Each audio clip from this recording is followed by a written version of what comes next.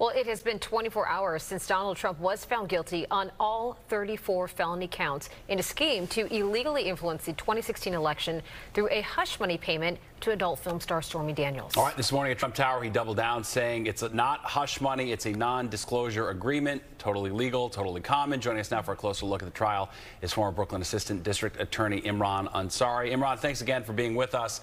Now, we've all had a night to sleep on this verdict, digest it, and process it. What's your reaction to the news today?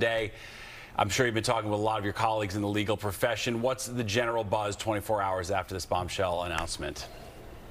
There's well, there's shock that it happened so quickly, uh, and there's also talk about what will be the appeals growing out of this. You know, we know that Donald Trump and his legal team are already at the table looking at um, how they're going to appeal this conviction. We, of course, have the July 11th sentencing, and the appeal would follow that. Uh, and I think there are, uh, you know, there is foundation, there are basis for uh, the uh, defense team to appeal this conviction everything from Judge Merchan's rulings during the trial to the way those jury charges were uh, formatted and then given to the jury to the preclusion of a, a, an election expert witness by the defense. Uh, there's going to be an appeal here, certainly, and I think there's some strong uh, grounds for it. But we have to take the jury verdict as it is, a, uni- a unanimous verdict from uh, on 34 counts from uh, all those jurors. You have to to give credit to that. We'll see how the appellate process plays out, but we're watching now, all eyes on July 11th, to see how uh, the sentence goes down. And I think Trump uh, is taking this to his base and rallying his support. And I think we see unwavering support for Donald mm. Trump. You said that unanimous verdict, but they were not unanimous about the unlawful means, which meant that they didn't have to agree on which of the three crimes, three other laws that Trump did violate. Talking about right. a Supreme Court case back in 2020, that was Ramos versus Louisiana, which had found that you have to have a unanimous jury conviction on all essential elements in a federal case, whether it's federal or state. So is that good enough for an appeal?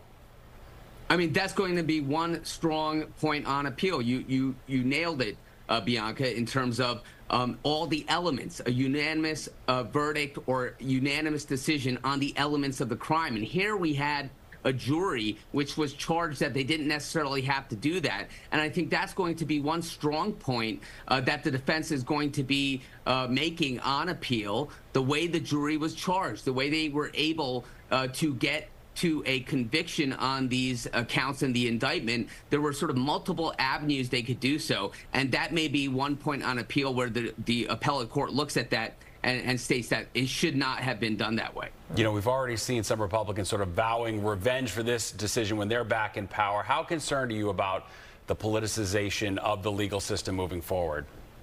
I think it's a real concern. I think it's a, a, concern that the, the country's so polarized on political grounds that when you take it to the courts, you're taking it and, and really infusing the justice system uh, with political bias, if you will, or you know gamesmanship, and that's not what that's not what should happen here. The justice system should be its own sort of sacred ground where laws are upheld. No one is above the law, but it also shouldn't be weaponized for political means. And I don't want this to set precedent, no matter what party's in power, that they could look to the courts, they could look to uh, a district attorney's office uh, in order to get some sort of political advantage. That's not how this country works. That's not how the Constitution uh, is in play here and the rights under the Constitution Constitution, and we really should not go that way. It would be a slippery slope that we should not go down.